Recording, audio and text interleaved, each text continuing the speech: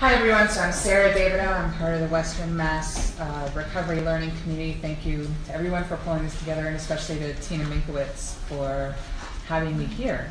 And I'm just going to trust that my slides are going to appear there there we go. Okay. So I guess to start, I just I want to share a little bit something different, a little bit about what happened to me. And piece I'm going to share starts in 2010. In 2010, I had two miscarriages. And that was a very, very traumatic experience for me. And then in 2011, I was pregnant again. And I wasn't doing so well with that. I was really, really freaked out, frankly, about what was going to happen. Was this going to be okay? And I had some really interesting interactions with doctors through that. In part of that experience, I was calling them up. I was saying, "You have to do an ultrasound. You have to tell me the baby's still there." You know, granted, I was a little, you know, out of balance, and I just wanted them to show me that the baby was still there. And they kicked me out of the practice. Okay, so the second doctor didn't kick me out, but thought perhaps I should be taking psychiatric drugs while I was pregnant because of how I was reacting to that experience. And I thought, okay, I just have to get through this. If I can get through this pregnancy, everything will be okay. And then in uh, October 11th, 2011, my daughter was born, and everything was not okay. I started having visions that were telling me that I needed to hurt my baby. Those visions were pretty specific, especially when I was in a, one of my workplaces on the third floor it, they wanted me to drop my baby over the railing, uh, which was down all the way down three floors. And I didn't tell anyone. And one of the reasons I didn't tell anyone is I've been in the system before. I've reached out for help before, and what that had resulted in was force. Forced psychiatric hospitalization, drugs, etc. And so, what I had learned from that experience was do not tell. And even more was at stake at this point. What was going to happen if I told people that I was having visions of hurting my child? Would I still get to have my child?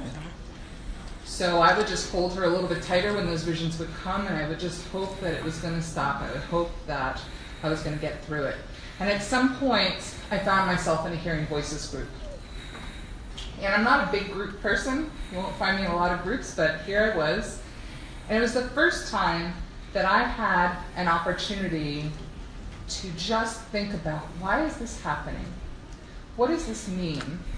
And it came to me pretty quickly. I actually didn't talk about it out loud. I was listening to other people try and make sense of their own voices and visions and other unusual experiences, but it came to me.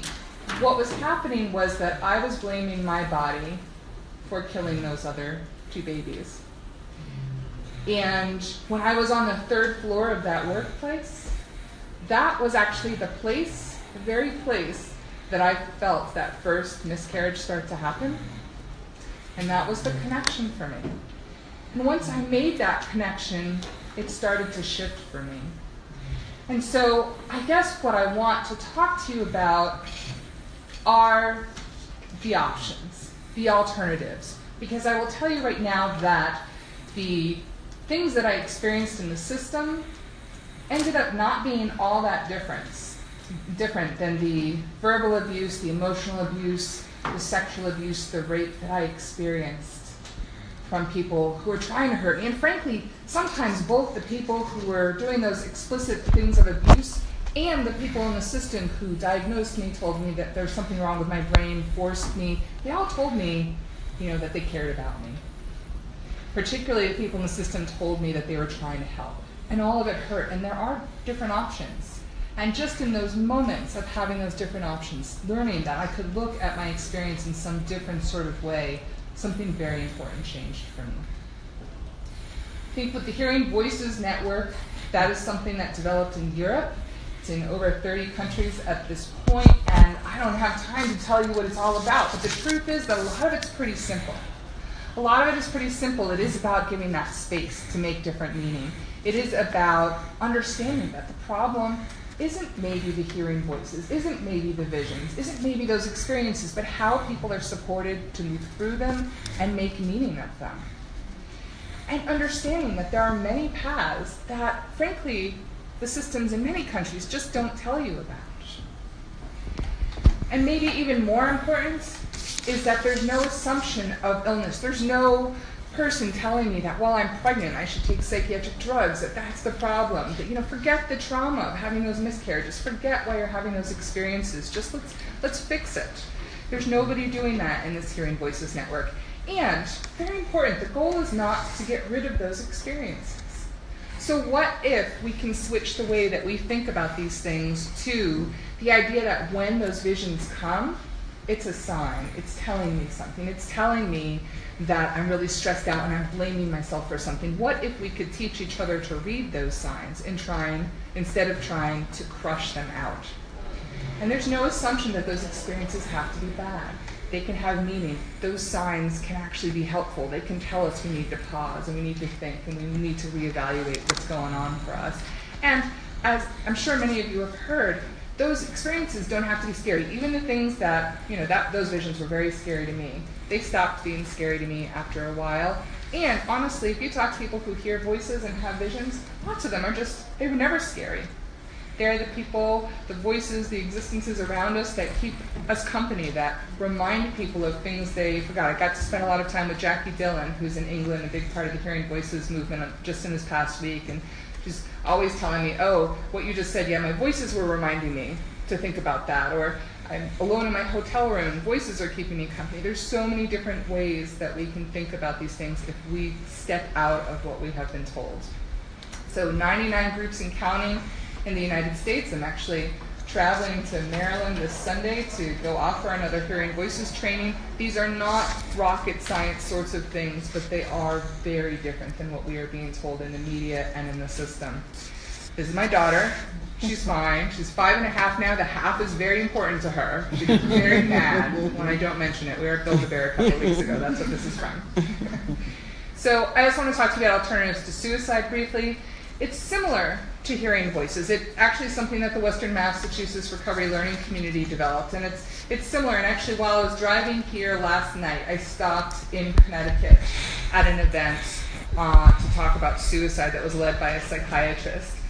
And as a side note, my great accomplishment in that event is hearing someone else tell me that I've, I've been emailing back and forth with a psychiatrist sort of arguing with the psychiatrist, and someone else told me he's been talking about me. So I figure I'm doing my work if I'm getting into his conversation. So, but one of the things that he said is 90% of people who consider attempt complete suicide have quote unquote mental illness. But here's the problem with that.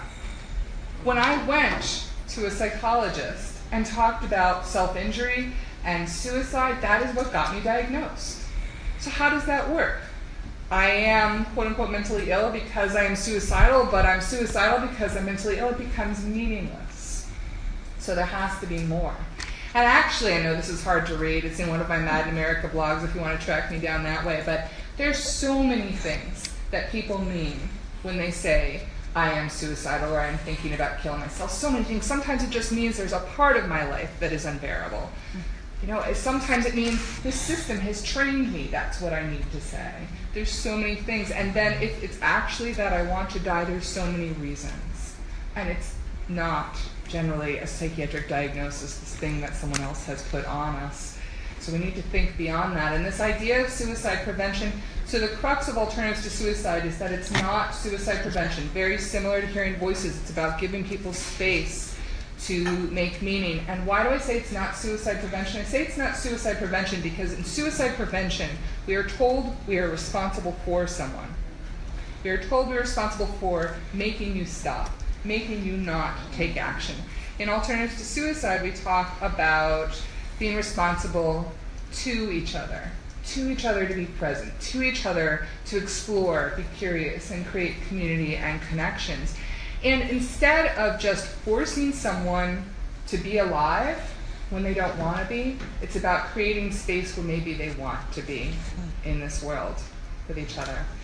So I wish I had more time to tell you what all these things actually look like. But the truth is, they look like being human with one another, and our society, our systems have kind of trained that out of us. And force, the force that is driven by that sense of control and that sense of needing to stop each other, that force is not an option. You know, sometimes we hear people talk about like, well, force is the last resort. Force is one of many options. Force is not an option, it's a lack of options. It is what the system does with people when they don't know what else to do. So they're just going to put you on pause. They're going to drug you up. They're going to lock you up. They're going to put you away until maybe someday they can figure out. And they don't really consider the harm that psychiatrist, I asked him. He was talking about 13 Reasons Why. Probably some of you have heard about that show, right? Big, big deal show. And he was so concerned with whether or not 13 Reasons Why is harming people and causing more suicide attempts. And I raised my hand and he recognized me right away from my emails when I raised my hand and started talking. And I asked him why we're spending so much time thinking about that and not thinking about the fact that research is now showing that the treatment, the hospitalization, is leading to over a hundred times increased risk of suicide. Why aren't we talking about that? Why aren't we talking about the fact that the treatment, especially forced treatment, has shown no improvement of outcomes. If we want to compare it to the medical world, most medical treatments have shown improvement. This is the only area that has shown no improvement. So we need to be thinking about that, and we need to understand that the key here is unlearning. So Henry David Thoreau said, when any real progress is made, we unlearn and learn anew before we thought we knew uh, what we thought we knew before. And if you don't want to hear from that particular American figure, I have a boiled down statement from uh, Yoda. you must unlearn what you have learned. We need to do that together. Thank you. Good job.